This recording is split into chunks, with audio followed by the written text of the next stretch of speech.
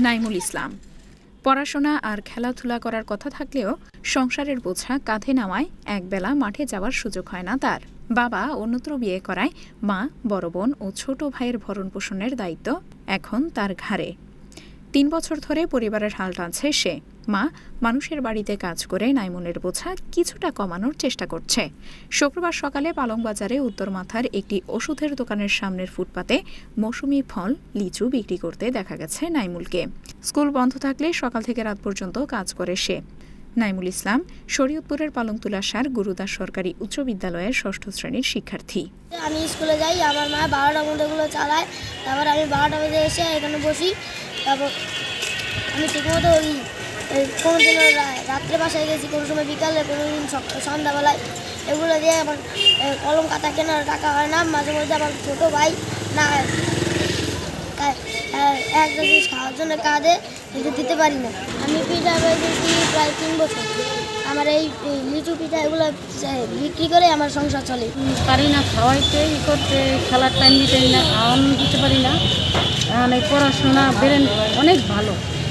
পারি না পড়াইতে। এখন ছেলে মেয়ের যদি কেউ একটু পড়ার ই মানে পড়ার জন্য কেউ সহযোগিতা করতো তাহলে আমার কাজ আমি করতাম ছেলে মেয়ের পড়াশোনার সময় আমি দিতাম।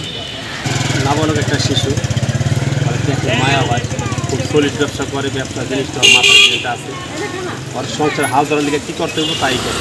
লেখাপড়া করে তাকে লেখাপড়ার মাঝামাঝি আর এই ব্যবসার সংসারে হাল ধরতে হয়। পালন বাজারে নাইমুল নামের একটি ছোট ছেলে যে তুলাসার সরকারি গুরুদাস উচ্চ বিদ্যালয়ে ষষ্ঠ শ্রেণির ছাত্র। তিনি আর্থিক অনটনের কারণে তার পরিবার নিয়ে চলতে পারতেছে না। সে ভাসমান একটি ছেলে, তার মা এবং বোন, তার ছোট ভাই এবং সে নিজে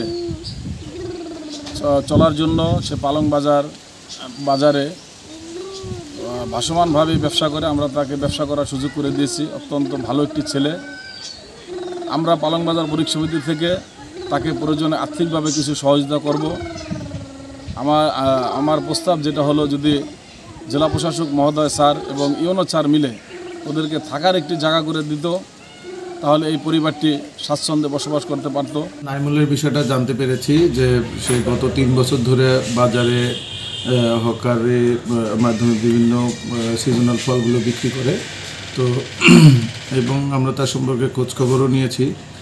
নিয়ে জানতে পেরেছি যে তার যে মায়ের নাগরিকত্ব সেটা মাদারীপুরে তো আমরা এখান থেকে যেহেতু সে এখানে ভাড়া থাকে, আমরা এমনি সাময়িকভাবে যেসব সহযোগিতা আমরা তাকে দেওয়ার চেষ্টা করব।